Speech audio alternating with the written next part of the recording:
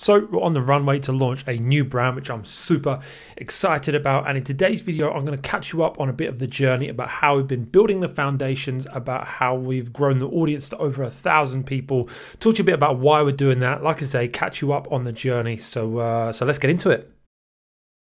So, in case you missed it, last week I talked about how we're going to be documenting a few different brands that we're going to be building over the next six to 12 months, starting with the one I'm talking about today. I also mentioned that I'm going to be showing you inside the engine room, underneath the hood, showing you the inner workings of what we're doing, even uh, talking about the identity of this brand, making it public for everyone to see, and uh, talked about how we're going to be doing that, launching that by uh, showing you that inside the Brand Builder Challenge. Now, the Brand Builder Challenge is a seven day live and interactive challenge where I'm going to be teaching every day about how you can launch your first profitable product on Amazon and then lay the foundations for a successful brand beyond that. It's free, there's no charge this time. We probably will charge for it in the future, but uh, for this first one, it is free. And so uh, I'd love you to join us inside that. And if you want to check the link below, it'll either be the waitlist for when it opens or, or, if it's actually open by the time you watch it, the link will be to, to sign up for it. Um, like I say, nothing pre recorded. I'm going to be going live every day, sharing thoughts on different things things each day, different building blocks around building a brand, finding your first profitable product,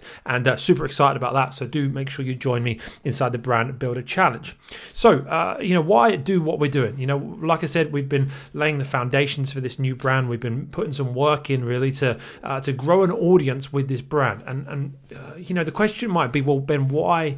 Are you doing this? Well, Amazon already has the audience for you. Amazon already has traffic. Uh, you know, it's something I've preached for so long that Amazon has so much traffic, so many customers that that's where the focus of our time needs to go. Well, I kind of addressed this a little bit in a video a few weeks ago where I took uh, Ezra Firestone, Kevin King, two titans of the industry, the e-commerce world. One says build a brand, one says don't waste your time doing that, and kind of talked about my reasons for that. So if you haven't seen that video, make sure you do check that out. I'll put a link up here in the corner. But the reality is that when you find a product that you want to sell and you begin to source that product, you put a deposit down with the supplier, they begin mass production of that product.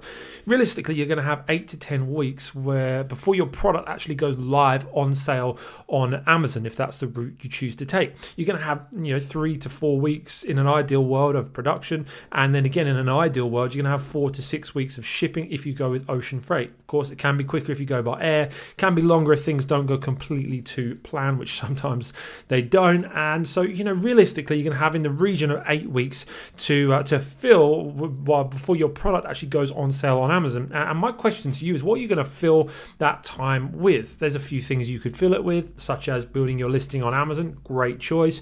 Uh, learning how to run PPC, great choice. You can plan your launch. You can do a few other bits like that. But in reality, you're going to have eight to ten weeks there that you've got to be able to invest in things that are going to help you launch your first product with momentum and one of those things I believe that you could really invest that time in, something that's going to give you a really great return on investment, both of your time and your money, is by building an audience for your brand. It's something I've taught from the very beginning about building an audience whilst your product is in production so that when it is ready to be launched, you've got an audience to launch to. So, real quick, let me give you three specific reasons and motivations for us why we're doing this with our brand, and then show you some of the uh, the stats and figures and talk you through it a little bit. Um, three reasons why we're investing time, energy, finance into growing an audience for our brand before our products are even on sale. The first thing is we want to start with agility. Now, most people are too reliant on one thing. In our personal lives, so many of us, we're reliant on one source of income. In our business, often we can be reliant on one source uh, of traffic. But actually, uh, for us, as part of the Brand Builder Blueprint, we really believe that you shouldn't be reliant on one source of traffic, one source of income. You should be developing traffic sources you control. That's part of the Brand Builder Blueprint, right? And so uh, when we started this brand, we wanted to make sure that we had agility so that if ever there was an issue with an Amazon account or Amazon, you know, was punishing us, penalizing us for something we didn't know or, or took us a few weeks to fix, whatever it may be, we didn't want our revenue to go from, you know, high to nothing. Uh, actually, we wanted to be able to have different sources to be able to overcome that, right? And so what we're doing with this, and just to kind of show you a bit of an example of this, uh, I've been putting some work into building the list of this brand, building the audience. As you can see here, this is inside Klaviyo, which is like the uh, email service that we're using. And uh, this links into Shopify really well, so just syncs everything up really nicely. And as you can see here, 730 members uh, on this list. Now, it's important to note that these are all people that will be interested in the products we have to offer. We know that because of the methods that we're using to build this list have, uh, you know, tie into the kind of products that we're going to be selling. I'll be talking a lot more detail about all of this inside the Brand Builder Challenge, like I say, so make sure you do join us in there. But as you can see, these are, um, you know, obviously I've got that kind of blocked out, um, you know, because these are real people's details, but these are real people uh, that are being added to this list all the time, right? And so this is uh, one area that we've got agility because we've got 730 people as it stands. That's growing, uh, you know, all the time. We only started building this list around three or four weeks ago, so this is growing all the time. And so we've got the agility to be able to, uh, you know, if anything ever did happen to our Amazon account, which you know, I pray it doesn't, but if it did, we could go to these people. We still got contact with them. Um, if we need to grow reviews, if we need to grow, uh, if we've got a new product launch, you know, we've got this agility to be able to go to this list, which is obviously really helpful. But when I say agility uh, and talking about different sources, you know, I'm not just talking about this email list. The power of these methods that we're using to grow this list mean a few different things. Here is our uh, some analytics inside our Shopify account. So as you can see, um, no orders, um, you know, no order value, made no money whatsoever on this website yet because we don't yet have any products for sale because our products are in production. Um, you know, I'm getting uh, all of the WhatsApp and WeChat messages from my suppliers all the time at the moment, just kind of getting those finalized things done on the products. Uh, but whilst we're doing that, we're, we're actually building these lists, right? And so we've got the email list, but what's good to note here is, as you can see, we've been doing some different tactics to build this uh, the list and to grow the following and to build some warmth up there. And as you can see, 1,886 store sessions in that sort of the time period through August, the last few weeks.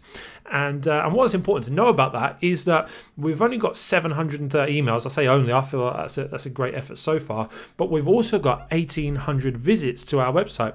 And now we've got the Facebook Pixel installed on the website, which means that we've got 1,800 people on a Facebook retargeting list. So when day one comes, when we come to launch those products, not only have we got 730 and growing members on that email list, we've also got 1800 and growing visits to the website that we can then retarget with some Facebook ads. So we'll be sending out emails, we'll be running Facebook ads, and, uh, and it just gives us that greater agility, more people to reach in more places. Not only that, but we also have an Instagram account that's over 200 followers now, and we also have a Facebook page that's growing over 350 page likes. Talking of the Facebook page, that brings me on to the second reason why we're doing this. Number one is agility, but number two is is affinity. Uh, we want to launch with affinity. We want a growing warmth. We want people to know, like, and trust our brand so that when we launch the, you know, what we're investing into this launch, it actually goes a lot further. For me, everything's about return on investment.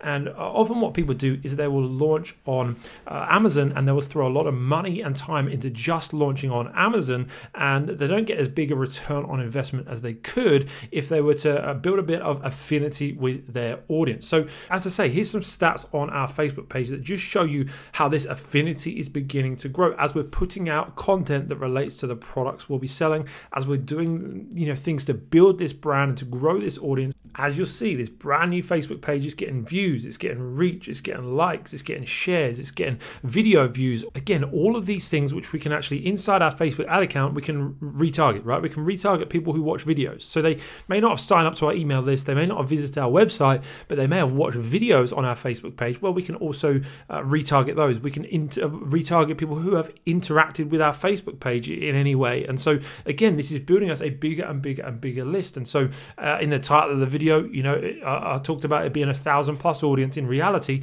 there's probably two or three thousand people that are growing to know our brand. They can recognize our brand and beginning to know, like, and trust our brand too. Um, if we look down here and see some of our recent posts, you can, um, you know, I, I, know obviously last week I talked about um, I'm not blurring things out anymore. I'm showing you everything. But I also talked about how I want to reveal this stuff for you inside the Brand Builder Challenge. So um, I don't want to kind of ruin the surprise. So I'm, I'm keeping it kind of uh, under wraps for now. And then when we launch it inside the Brand Builder Challenge from there on, tutorials like this, you're going to kind of see everything. So it's going to be super fun to document for you.